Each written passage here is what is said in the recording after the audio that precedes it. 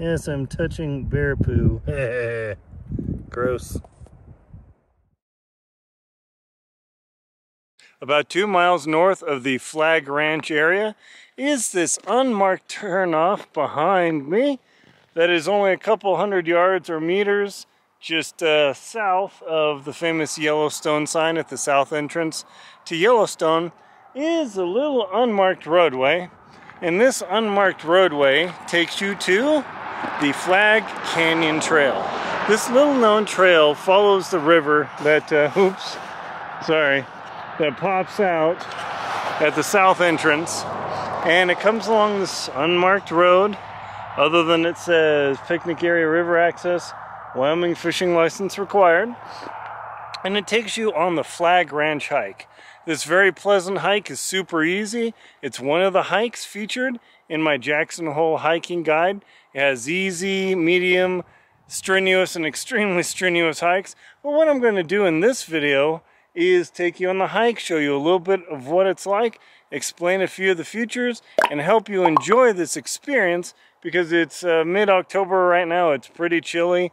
It's about 40 degrees, maybe, I don't know, five or six degrees Celsius. And yeah, it's uh, not a lot of people out here. Hopefully I don't run into bears, but chances are I will see bear sign and uh, potentially scat on the trail. So it's something I was gonna watch for. Make lots of noise. Hello, bears! Clap and, you know, yak yak. So I'm gonna show you what this is like and take you on this little hike.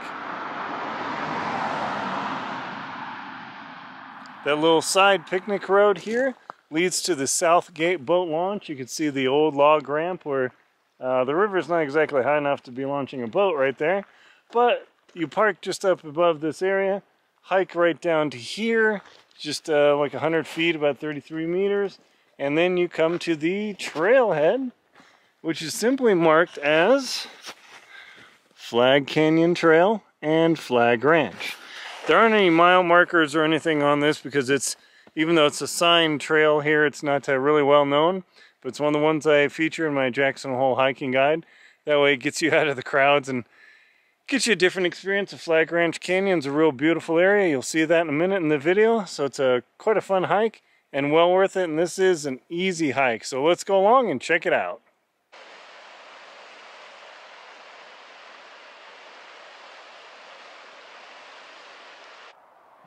There are old bear marks on this tree. And then this is a commonly trafficked area for bears.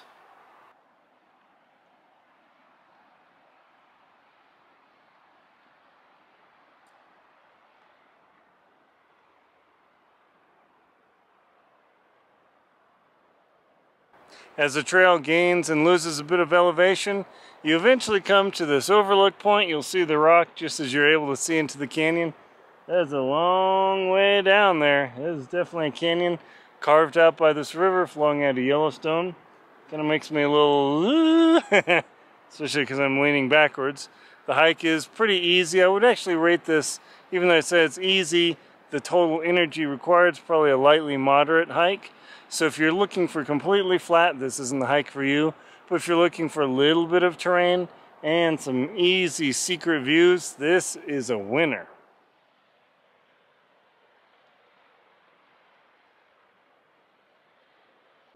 And as you can see here on this lodge pole, there are bear scratching marks telling you that as you're walking along the trail here toward Flagg Canyon that you want to make plenty of noise because that's the bears telling you to watch out for them because you don't stand a chance against them.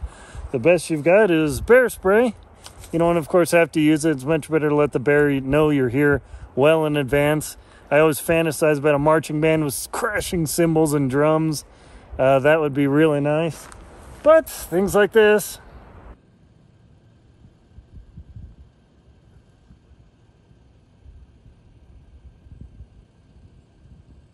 you can see the sawdust here and the tree that was cut that was blocking the trail meaning this is a maintained trail by either the park service or the forest service and just to show you how far down this is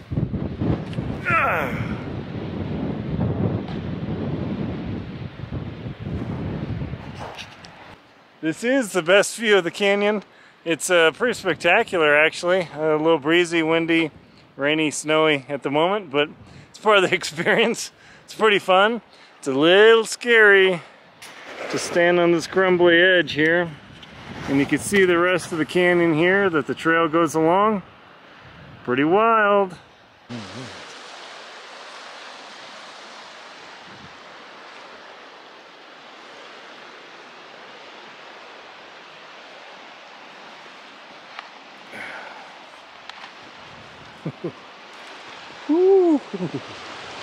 that looks exciting. Standing on an overcut or undercut. Whoa.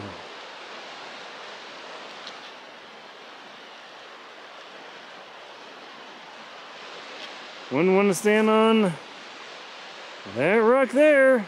Woo! Check out that canyon, that's sweet.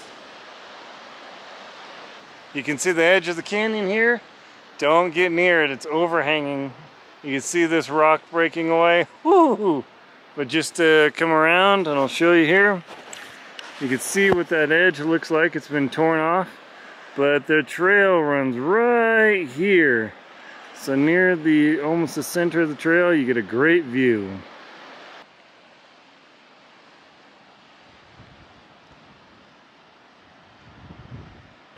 We will use this rock to measure the time of how deep this canyon is. I'm going to throw it straight out, arc, and by the superposition principle, we'll be able to measure the time. Okay, ready? And throw!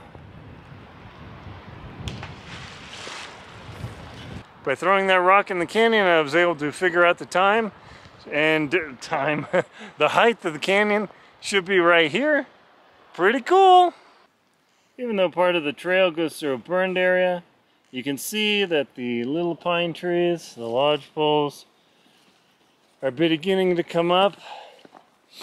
And in not too many years from now, these little guys will grow up and be as tall as their parents.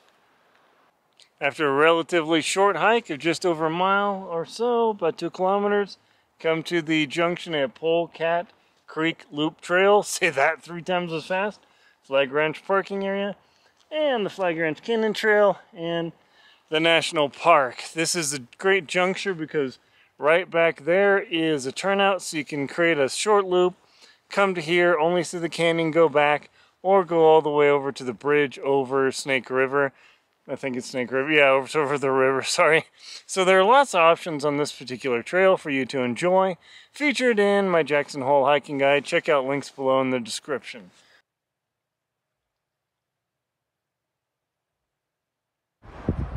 More grizzly marks.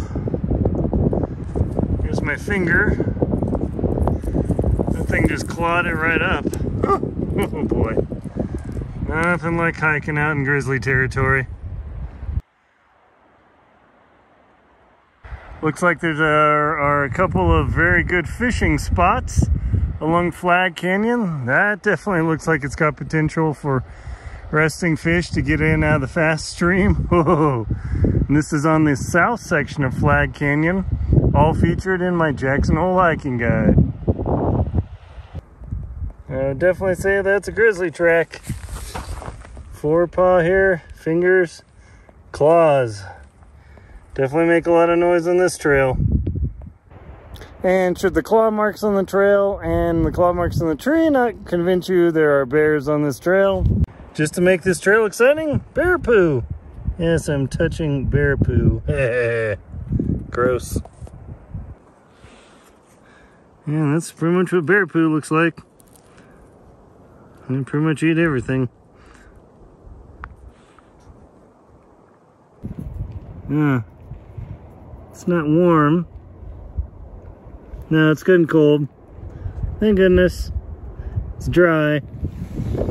Yeah, so it's touching bear poo, but uh, I want to see where it's been. see. Bear poo. Yeah. Still, still wet, but it's not warm. it was warm, I'd be crying right now. You can see the trail here on the southern end of the Flagg Canyon Trail. Goes right up to the north side of the bridge. There's the Junction Creek. There's a creek that comes out of Yellowstone. They merge and go on. Of course, I'll show you in a moment. Here we go. Water from Yellowstone merged together. You can even see an angler there.